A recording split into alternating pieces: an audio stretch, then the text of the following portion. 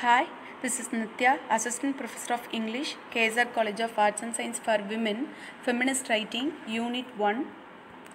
Feminism is a study defining, establishing, and defending the equal civil social rights for women.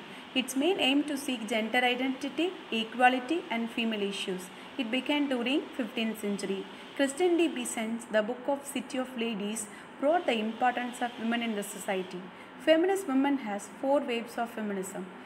First wave 1842 to 1920. It began it seeks the equality in politics, education and right to the property and marital freedoms. Second wave 1963 to 1980 brought social and cultural inequalities and racism concept related. 1990s third wave of feminism began. It, it, it seeks financial, political and social inequalities of women. Fourth wave till the present day. It seeks the enhancement of women in the society. Virago Press played the very important role to publish the women, uh, women's writings during 19th and 20th century. Dale Spender and Jane Spencer's writings brought, brought the concept of even women can write. Wollstonecraft's A Vindication of the Rights of the Women brought the, seeks the feminist philosophy concept. Virginia Woolf's A Room of One's Own brought the social injustice and lack of freeness in the lack, lack of freeness for women in the society. Jane Austen, Alice Walker, Judith Wright, Simone de Beauvoir, Kate Millett, Anita Desai, Margaret Atwood Maya Angelou. These, these, these were all the popular feminist writers all over the world. Women to Man by Judith Wright, an Australian poet, environmentalist, unique in modern idiom, and, in her writing has native touch and materialism concepts. It is, a, it is in the form of a ballad.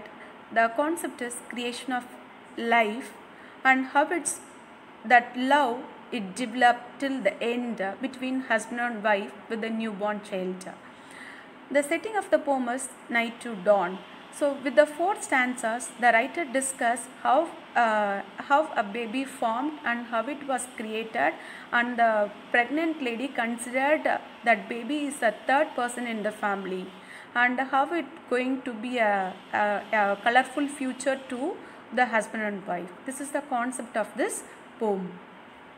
Phenomenal Woman by Maya Angelou, who is an American and multi-talented writer and unique in autobiographical writing style. In this poem, she celebrated the identity of women. Even though she is a black-raised woman who lived in America, she won't bothered for her gigantic physique even in her black race. Always she called herself as a phenomenal, extraordinary woman.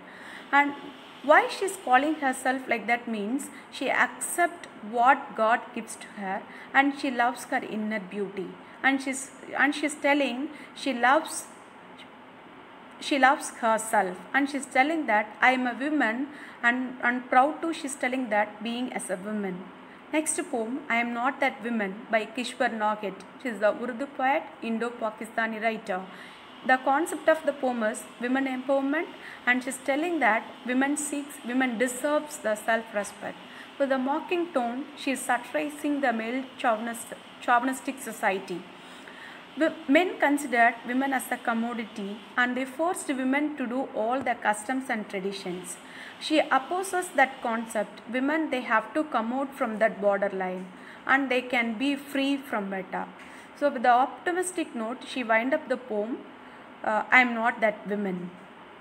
Next poem originally by Carol Ann Duffy. She is a Scottish poet and poet and playwright. She considers the first Scottish born female poetess. In this poem, she discussed the loss of cultural identity, identity because it is a, it is a personal uh, touch of poem because she is immigrating from Scotland and uh, settled down in England. So there how she alienated, what are all the problems she faced. So that concept she discussed in this poem originally. With the hesitating note, she wind up the poem. Now where do you come from? As strangers ask originally and I hesitate. So if, if the, the land is not for us, so usually people ask us, you are considered as we are a strangers. Next poem, poem name is Poem by Pratibha Nandakumar who is a contemporary Karnataka Indian writer. The poem it is originally written in Kannada and translated into English by A.K. Ramanujan. In this poem, she discussed how a female poetess struggled to create a remarkable poetry. Being as a female writer, it is not an easy task to write a remarkable poem. So how the Pratibha she suffered to write a beautiful poem to present in a poetry festival. So this is the concept she discussed in this poem. Poem. That's all. Thank you.